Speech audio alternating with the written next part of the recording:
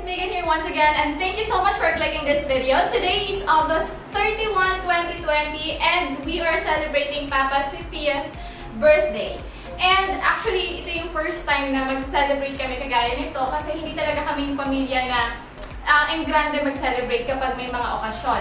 So, um, ngayon lang to kasi we believe na talagang deserve ni Papa yung ganitong klaseng um, celebration and we invited um, some of his closest relatives sa kanyang kapatid, mga pabangkin, kasi nga dahil nga um, meron pa rin COVID ngayon, ay kailangan nating mag-conform dun sa health protocol na kailangan walang masyadong malawakang gathering.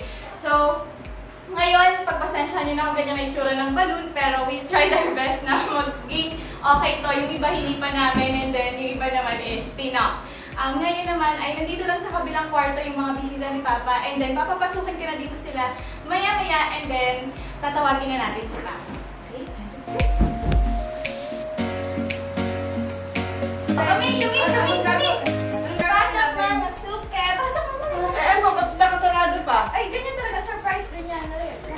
come here, come here, guys. And here's the plan. Mama na, nakataklob ka sa camera. Ayun po ang ating camera.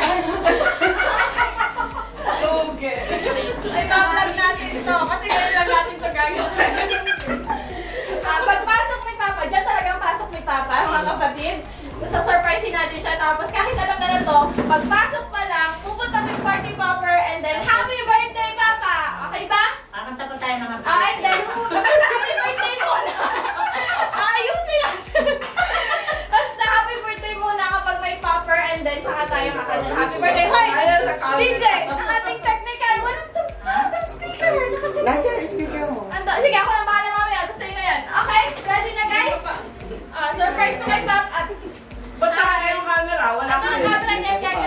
Dito kayo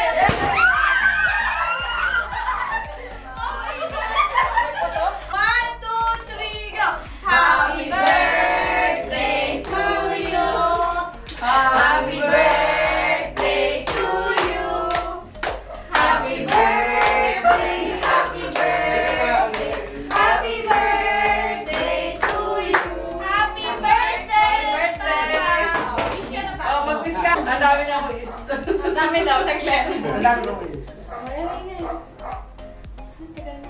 Again, before we start our ano, counting kainan, tayo muna ay mag-pray at ito ay pamumunuan ni Kuya! Walk out! Kaya na siya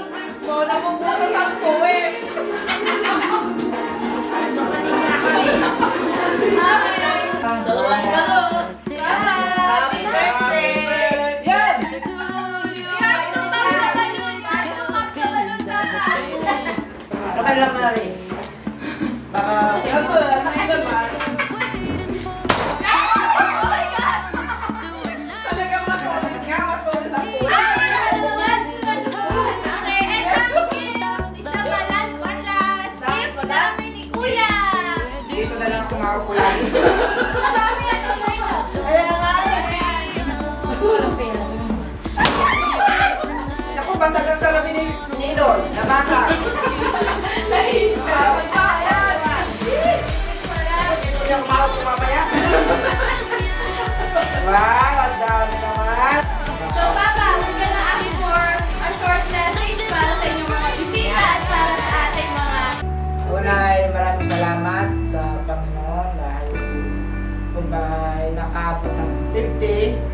sana ay kung hindi ganito yung sitwasyon, baka nakapagtumba kahit isang baboy na pilay.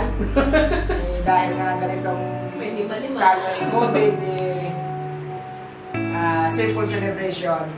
At ah, Surprise na- celebration. Na-surprise, na-surprise ang mga aking mga anak, Megan, Joshua, si Mama, mga kapatid natin. Salamat sa inyo, ate, ate, Timian, Bonay, Bonay,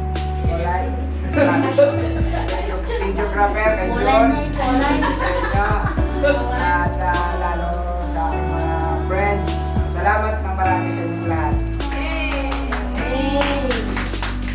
That's it guys. Thank you so much for being with us sa ating pag um, to celebrate ng birthday ni Papa. Although napaka-simple lang ito, pero naging uh, makahubuluhan ito para sa aming lahat. Thank you so much everyone!